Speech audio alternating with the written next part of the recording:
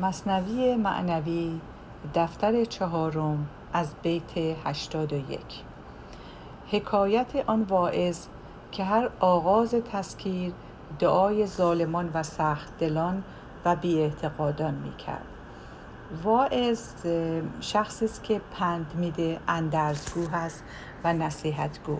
کلمه واعظ جمعش میشه وعاز یا واعظین.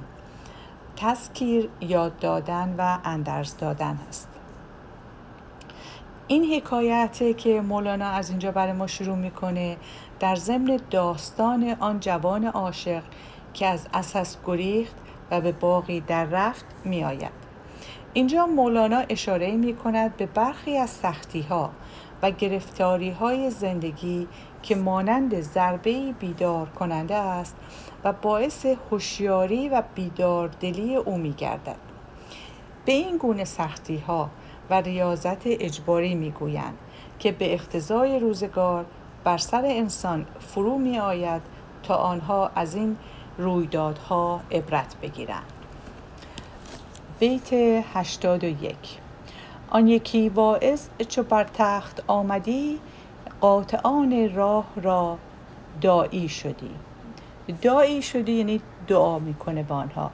قاطعان راه دزدان و راه زنان هستند. قبلا در راه ها و مسیرهایی که مسافرین می‌رفتن دزدان سر راه وای میسادن راه اونها رو قطع می‌کردن و مال و منالشون رو ازشون می‌گرفتن و به اینها می‌گفتن قاطعان راه و همون دزدان هستن. در اینجا اون واعظ و شخصی که نصیحت کننده بوده هرگاه که می‌رفته منبر و می‌خواسته نصیحت کنه کاری که می‌کرده اول به اون دزدان و راهزنان دعا می‌کرده. من بر هم یک قدیم ها وقتی می‌خواستن برن وصل کنن برای که بالا باشن و صداشون رسا باشه یک کرسی های از چوب درست می‌کردن که پایدار بود که اون خطیب بران مینشه و مینشست و خطبه خود را میخون هنوز هم در مساجد از کرسی استفاده می‌کنن و همون منبر استفاده می‌کنن. و اون واعظ به دزدان دعا می‌کرد. دست بر می داشت یا رب رحم ران بر بدان و مفسدان و تاقیان و دستهای خود را به سوی آسمان بلند می کرد و دعا می کرد به انسانهای بد مفسدان آنهایی که فساد ایجاد می کردن و آنها که ظالم و سرکش بودند. بر همه تسخر کنان اهل خیر بر همه کافر دلان و اهل دیر.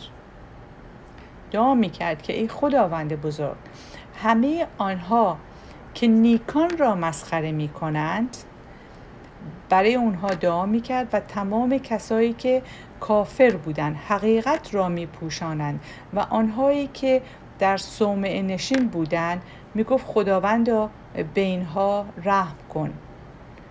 می نکردی او دعا بر اسفیا می نکردی جز خبیسان را دعا. اون کسی که دعا می کرد آن واعظ این دعاها رو در حق کسانی که برگزیده خداوند بودند و انسانهای پاک و خوب بودند به اونها دعا نمی کرد. تنها کسی رو که دعا می کرد افراد خبیس و پلید بود. مروه را گفتن که این معهود نیست. دعوت اهل زلالت جود نیست. یه عده به این واعظ میگن که این جور که تو دعا می‌کنی اصلا رسم روزگار نیست. چرا به انسانهای خبیس تو دعا می‌کنی؟ کسانی که گمراه شدن و در تاریکی رفتن جوان دعا کردن در حق آنها جوان مردی و مروت نیست. حالا اون واعظ جواب میده گفت نیکویی از اینها دیده ام من دعاشان زین سبب بگزیدم. واعظ دلیل خودش رو برای دعا کردن به این افراد خبیس ارائه میده و میگه که من از اینها نیکی و خوبی دیدم. خبس و ظلم و جور چندان ساختند که مرا از شر به پیر به خیر انداختند. این آدم های پلید و تبهکار با ستمکاری و خیانت خودشان به من نشون دادن که مرا از بدی و بد بودن خودم دور نگه داشتن و به سوی خوبی مرا راندند. چگونه این اتفاق میفته می‌گوید هر گهی که رو به دنیا کردمی من از ایشان زخم و ضربت خوردمی.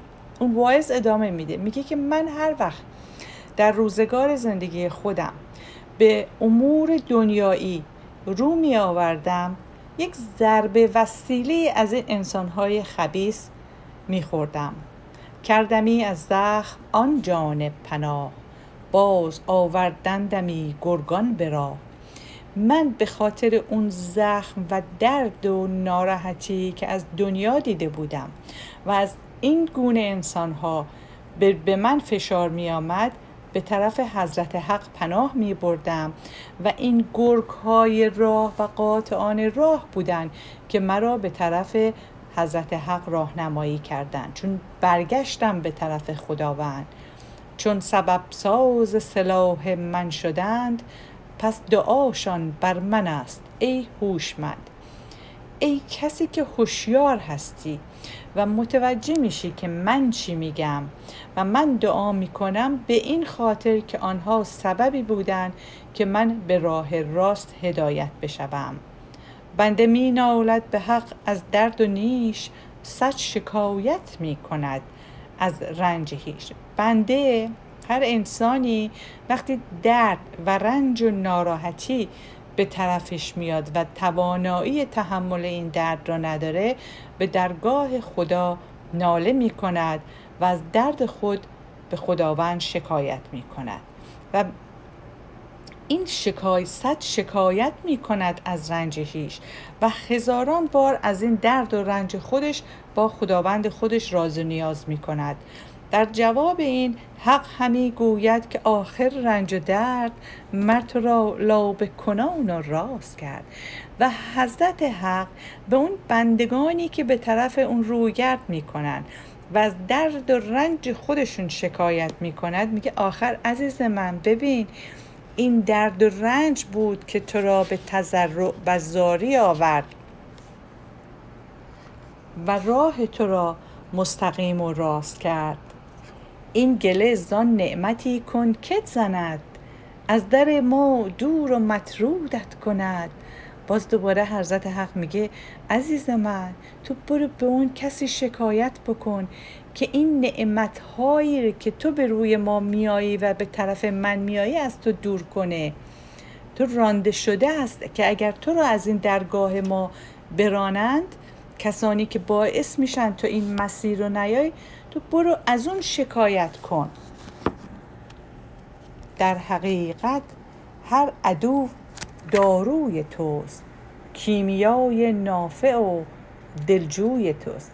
در واقع اگر خوب دقت کنی متوجه میشی که هر دشمنی که در این دنیا تو رو اذیت کنه و تو به مسیر مستقیم و الهی روی کرد کنی اون داروی تو هست و کیمیای نافع کیمیای وجود مثل تو رو با این کیمیا تبدیل به طلا می‌کنه کیمیای نافع و این به نفع تو هست و دلجوی توست که از او اندر گریزی در خلا استعانت جویی از لطف خدا و به اون خاطر درد و رنجی که تو داری می‌کشی از اون فرار می‌کنی و در خلوتگاه خودت میایی و در خلوتگاه دل خود از خداوند طلب کمک و استعانت می‌کنی.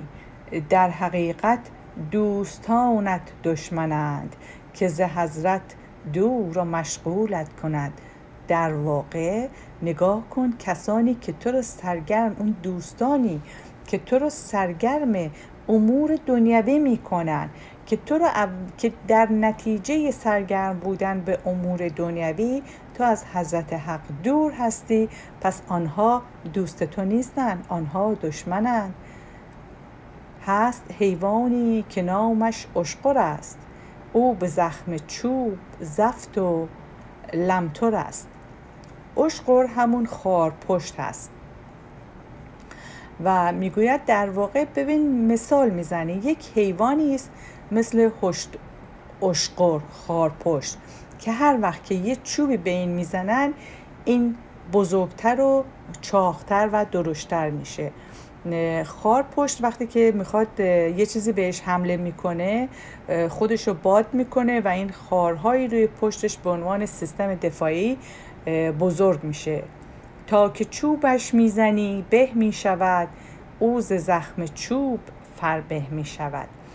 به این انسان هایی که با زخم های دنیا می‌تونن خودشونو باد کنن و مانند اون خارپشت قوی بشن و روی کرد به خدا بکنن از اون سیستم دفاعی بدن خودشون اینها بهتر و چاختر نشون میده تا که چوبش می‌زنی به می‌شود.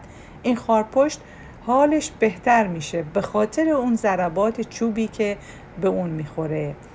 نفس مؤمن اشقری آمد یقین کو به زخم رنج زفت است و سمین. سمین چاخ هست زفتم باز همون معنی چاق میده. میگه این نفس انسان مانند یک اشقر هست همون خارپشت هست که هرچی بیشتر زخم بخوره این نفسش این نفس اماره نفس نفسی که بهتر بهتر از نفس اماره هست و بیشتر ریاضت می‌کشه این نفس و روحش والاتر و عظیمتر میگردد. زین سبب بر انبیا رنج و شکست از همه خلق جهان افزونتر است.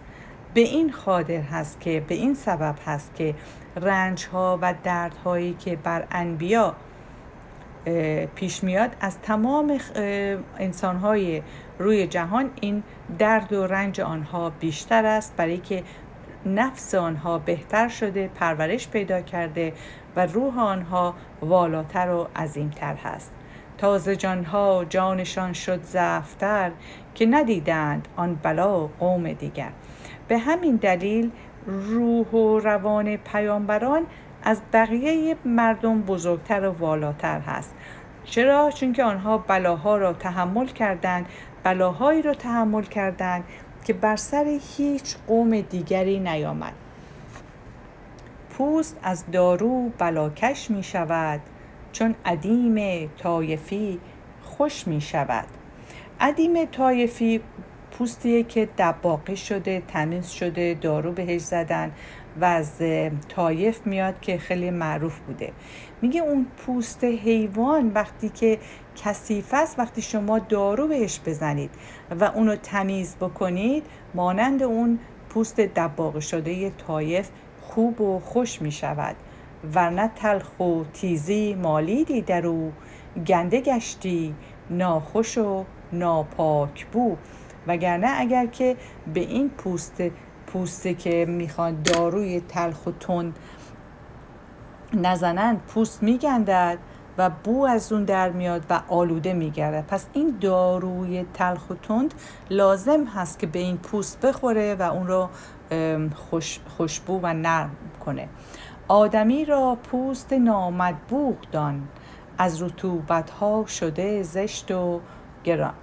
برای این مثال می‌زنه میگه انسان در واقع اون که طالب حقیقت هست و باید مانند اون اگر دباغ مثل اون پوست دباغی نشده باشه مانند, مانند کسی است که رطوبت و نمهای مختلف رو به خودش قبول کرده و بوی گند از اون می آید تلخ و تیز و مالش ده بسیار. تلخ و تیز و مالش بسیار ده تا شود پاک و لطیف و با فرح. بنابراین انسان هایی که می‌خواهند طالب حقیقت هستند و می‌خواهند روحشون بزرگ بشه باید از اون داروی تلخ و تیز و اون مالش هایی که به اون پوست ایجاد میشه تحمل کنند تا شایسته و پاک و لطیف بگردند.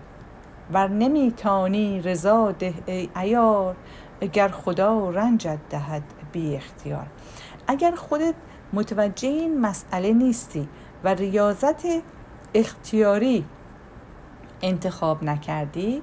بنابراین ای بزرگوار وقتی هم که خداوند دردی رو به تو میاره رو کرد می‌کنه تو به اون رضایت بده و بدون که این درد به این خاطر هست که راه خودتو مسیر خودتو به حقانیت ببینی که بلای دوست تطهیر شماست. علم او بالای تدبیر شما. اینجا دوست همون حضرت حق است. میگه هر بر درد و بلا و رنجی که از طرف حضرت حق می‌رسه باعث پاکی شدن شما می‌شود. چرا که او علم علم حضرت حق از هر علم و تدبیری که شما می‌کنید بالاتر است. چون صفا بیند بلا شیرین شود خوش شود دارو چو صحت بین شود. آن کسی که بلا سرش میاد اگر در اون بلا بتونه صفا و سیغل روح خودش رو مشاهده کنه در اون موقع اون بلا برای او شیرین و گوارا به نظر میاد. درست مثل اینه که انسان یک دارو بی انسان بیمار یک داروی تلخ می‌خوره ولی می‌دونه که این داروی تلخ برای سلامتی او لازم است. برد بیند خیش را در عین ماد. پس بگوید اقتلونی یا سقات و اینجاست در اون زمانی که انسان این دید رو پیدا می‌کنه که بدون مات شده و به هیچ جای دیگری دسترسی نداره و رو کرد به حضرت حق, حق می‌کند اون برده و برنده حقیقی و واقعی هست و می‌گوید ای یاران مورد اعتمادم مرا بکشید. این اوان در حق غیری سود شد لیک اندر حق خود مردود شد. و برمیگرده به اون داستان جوان و اساس و معمور شبگرد که به دنبال اون رفت. میگه این کسی که معمور بود و شبگرد بود برای آن عاشق کار اون برای اون عاشق مفید و خوب بود. چرا که اون عاشق را به مسیر عشق خودش راهنمایی کرد. اما اون اوان در حق خودش بدی کرد و مردود درگاه الهی بود. رحم ایمانی از او ببریده شد کین شیطانی بر او پیچیده شد. و به خاطر عمل ظالم بودن اون رحم و مروتی که از ایمان ناشی میشه از اون بریده شد و قطع شد و کینه و بیرحمی و شیطانی بر او غلبه گردید کارگاه خشم گشت و کینوری کینه دان اصل زلال و کافری. آن مأمور پاسبان و اساس اون خودش معدن کینه توزی بود.